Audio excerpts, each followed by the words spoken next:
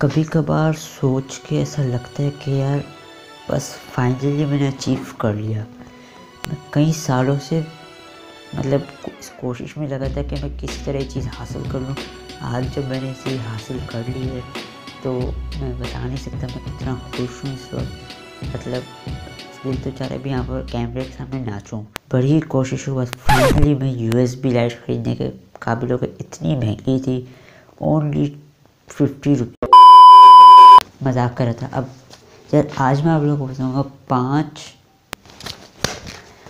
पाँच tips to record a voice over अब ये मोबाइल में भी हो सकता है, ये आपके लैपटॉप में भी हो सकता है, या आपके कंप्यूटर में भी हो सकता है इवन मैकबुक में भी। तो स्टार्ट करते हैं।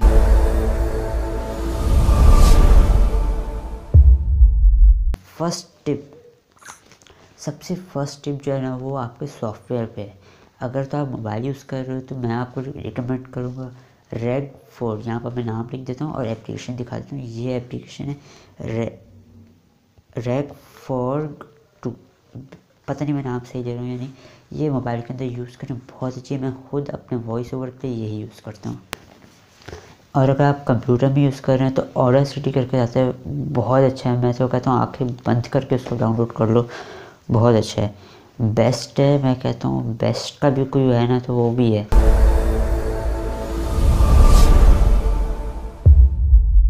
अब जो दूसरी टिप आ जाती है वो है यूज़ अ पॉपअप फ़िल्टर ये पॉपअप फ़िल्टर क्या होता है? ये एक नेट का पीस होता है कपड़े का आ, कह सकते हैं और वो स्टैंड पे होता है वो आपके टेबल पे माइक के साथ लग जाता है उसके अंदर की वजह से पॉपअप की साउंड ख़त्म हो जाती है। अभी जो मैं माइक यूज़ कर, इसके अंदर भी एक पॉपर फ़िल्टर लगा हुआ है बट वो छोटे साइज़ का है।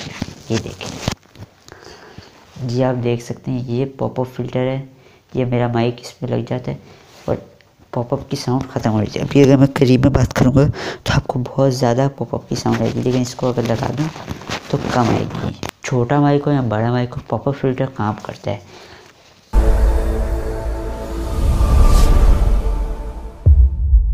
तीसरी ट्रिप जो आ जाती है, वो आती है आपका स्टूडियो में साउंड पैनल्स अब अगर आपका रूम खाली है तो उसका एको काफ़ी आएगी। जैसे इस रूम में शुरू शुरू में काफ़ी ज़्यादा एको आती थी तो साउंड पैनल का इस्तेमाल करके वो होता है फॉर्म होता है वो दीवारों पे ना, वो सिलिकॉन के साथ लग जाता है। सिलिकॉन के साथ आपकी दीवार पर लग जाते दीवार का कलर वगैरह वो खाड़ देते हैं, लेकिन स्टूडियो में अगर आप लगाते हैं तो वो काफ़ी एक अच्छा लगता है और उससे आपकी आवाज़ काफ़ी क्लियर हो जाती है।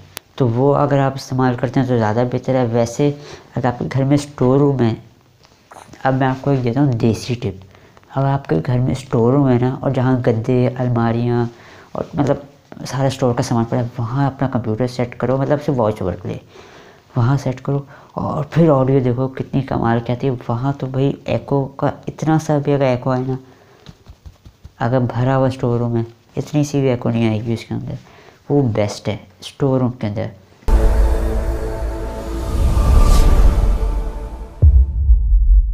ये सारी चीज़ें थी कि जो आप चीज़ें यूज़ करेंगे। अब ज़रूरी नहीं है कि आप मोबाइल के साथ रिकॉर्ड करें तो बहुत अच्छा है। आ, स्टार्टिंग के डेज़ में आप मोबाइल से कर लें लेकिन बाद में अगर आप एक अच्छा बाइक में इन्वेस्ट करते हैं तो बेहतर है। मोबाइल से यूज़ कर रहे हैं तो ये वाला जो बोया का यूज़ कर लें एम वन कंप्यूटर में यूज़ करें तो वो ब्लू येटी करके एक नाम आता है ब्लू येटी करके माइक आता है, वो यूज़ कर लें। या फिर सैमसंग गो माइक वो भी काफ़ी अच्छा है। थोड़ा महँगा है शुरू शुरू में तो हैंड फ्री को काट के जो अपने हवावे के फ़ोन के साथ हैंड फ्री है ना, उसको काट के यूज़ कर लेना, लेकिन बाद में ज़रा माइक पर खर्चा कर लेना।